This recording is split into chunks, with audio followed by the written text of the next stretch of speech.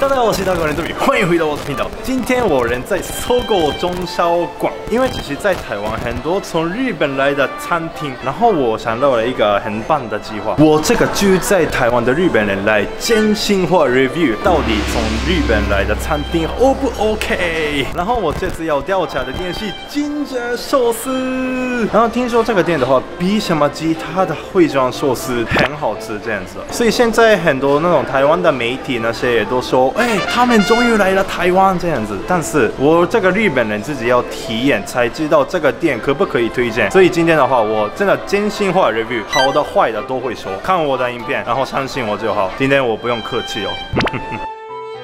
好，我刚刚抽到这个号码，因为现在是最近开的，所以真的超多人排队。大概他们说两到三个小时我要等。果然那个传说是对的嘛？日本最长的寿司店。然后这次我准备了五个 check point，第一是味道品质，第二是价钱是比值高不高，第三是服务，第四环境装潢，最后第五是交通方不方便，排队要不要很久。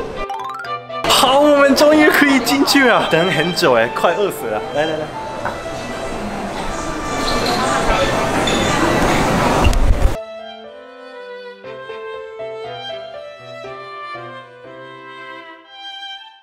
这次坐的是吧台，不是那种桌子，因为那个桌子的话，三个人以上才可以进去那边。我看刚刚那边的样子的话，跟其他寿司店，像寿司人那些都一样，就是有那个点餐的机器。但这边我发现没有呢。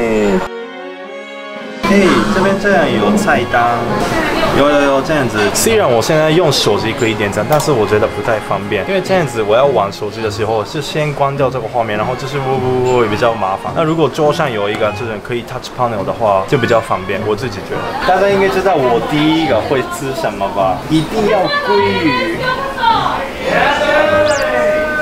很日系的感觉。他们可以选要不要芥末，还有这个饭的分量。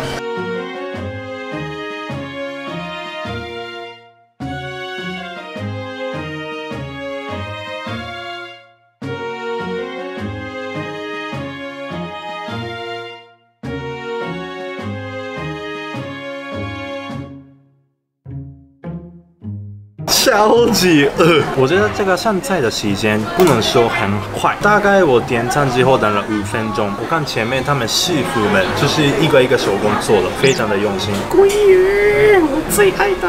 哇，很漂亮，萌到了。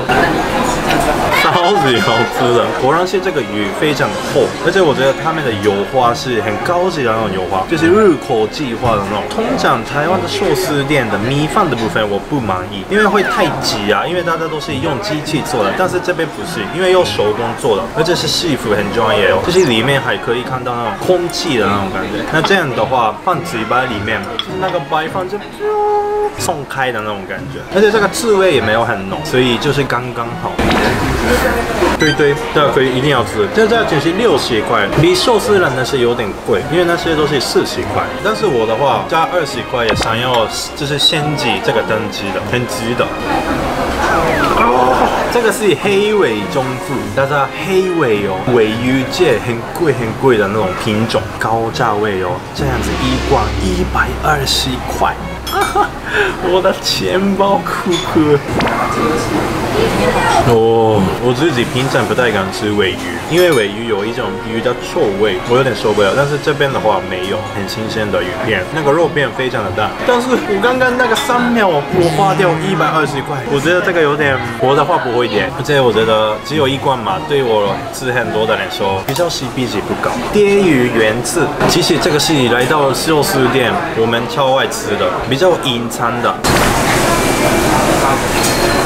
ちょっと待ってマジでうまい我没吃过这么好吃的鲽鱼鱼片当然是很厚然后口感大家吃的话应该会吓到这是那种很嚼劲的口感然后你越要里面的那个甜味出来而且这个上面加了葱跟磨米鸡おろし而且它里面的油花也非常的多 目前最喜欢的。那这是八十块，两罐八十，我觉得还可以。我记得其他店的话，一罐四十块，那一样呢，一定要吃。那我要换个口味，所以点了茶碗蒸。来到寿司店，大家也应该会点这个吧？上面他们有这个海带，然后很多这种沙子，跟一般的茶碗蒸有点不一样。哦，好吃好吃哦！这个跟一般的不一样的部分是，他们有满满的沙子的香味，然后这个他们上面的锅前的这个酱的感觉也很特别。小碗蒸是六十块，所以就是一般般，分量有可能有一点少，但是还算 OK。这个很特别呢，这个形状，这是玉子烧包的这个摆放，这个是甜的吗？还是咸的？我猜是甜的。咸跟甜的综合，这边的话不只是有甜味、咸味之外，他们还加了那个日式高汤味。做玉子烧的时候，这个很重要，而且这个也是一样。我发现这边的多每一个东西都很厚，这样子很好，是比级不错。这个四十块哦，可以，因为刚刚我吃的那个厚度嘛。鲑鱼啦，军舰寿司的话，有专门的军舰用酱油。哇，好吃！我现在这边的鲑鱼卵呢，一个一个很大，而且他们装了很多。有一些寿司店就是很少颗，然后之后放的很少很少，米饭比较多的感觉。但是这边不是，你吃到的全部都是鲑鱼卵。你刚刚看到价钱有点傻眼，这个一百六十块。真的抱歉，今天你应该很难过吧？有点不敢连的，应该要跟那种公司的老板要一起来。接下来这个中华尾鱼手卷，我这边的话每一个种类都要吃。手卷到底如何？我每次吃手卷的时候有点犹豫，要怎么吃？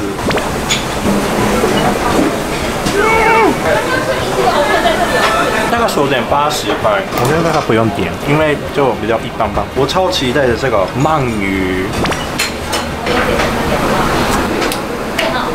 超棒的，通常鳗鱼是会比较薄，因为比较高级的鱼，但是这边的话很厚。我想知道价钱，六十块。我觉得六十块这种大小的话，很 CP 值高。我记得其他店也是差不多六十块，然后比其他店好吃很多。我可以推荐这个鳗鱼。好，现在吃到中间了，我在这边就是整理一下，味道跟价钱是刚刚说明的那样。种类的话，我真的蛮多的，大概我刚刚量，然后六十七十。服务的部分呢，因为有可能对我的服务不足，应该。没有，但是如果有知道我的话，这些会不一样。而且我有在拍片，所以现在是我看对别人的一般的客人的服务是怎么样，然后觉得蛮不错的啊。再来是环境装潢的部分，我觉得非常有日式的感觉，就一进来就有哦，回到日本那种感觉。环境也很不错啊，就没有很吵，大家都是安静的，就是默默闪烁这样子。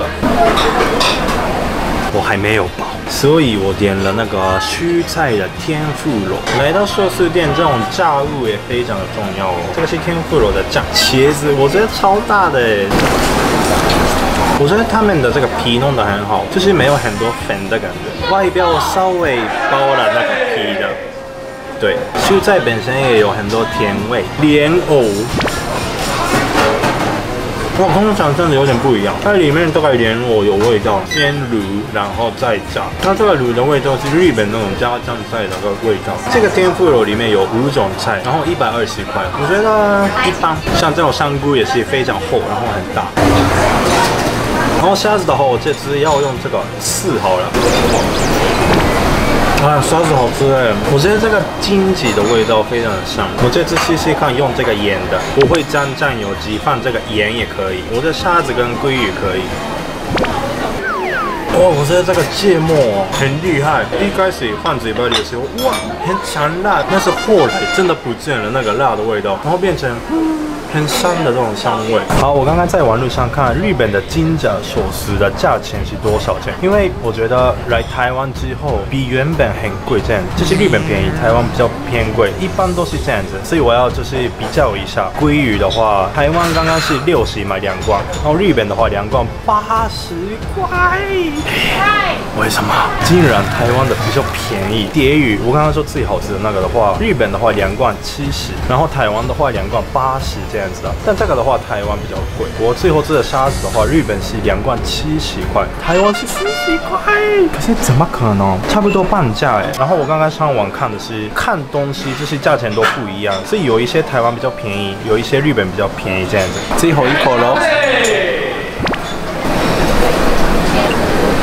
好吃饱啦！第五个项目的那个交通的部分，这边是那个中校附近的搜狗里面，所以从捷运站大概三十秒就到，非常的方便。这次我用的金额是九百十块，八个寿司，还有一个茶碗跟一个炸物，有点贵，贵贵贵，而且我觉得有点，嗯。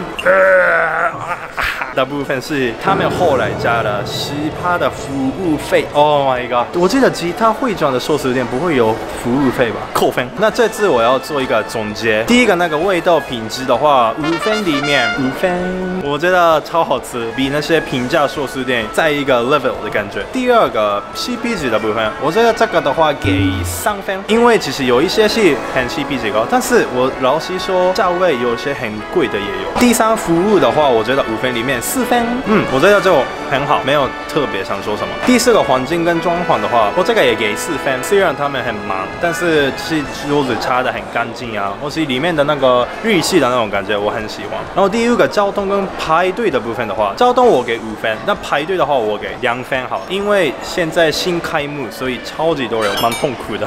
所以我比较推荐大家晚一点去的话，可能不用排队。然后现在的话没有那个电话预约哦，大家要现场排队连。那一下下，然后最后我想要跟比寿司郎好了，因为应该大家都去那个寿司郎嘛。那我觉得看个人的要求在哪里。如果是比较平价的 CP 值高的，然后想吃饱的话，可以去寿司郎。但是如果你今天想要吃比较高级一点的，鱼也比较品质好一点的话，我推荐去这边。好，这样子今天的我的真心话 review 餐厅系列结束。怎么样？这个计划？如果喜欢这部影片的话，可以给我按赞，然后分享，然后记得留言告诉我这次的这个影片。的感想哦。那下次影片见，拜拜。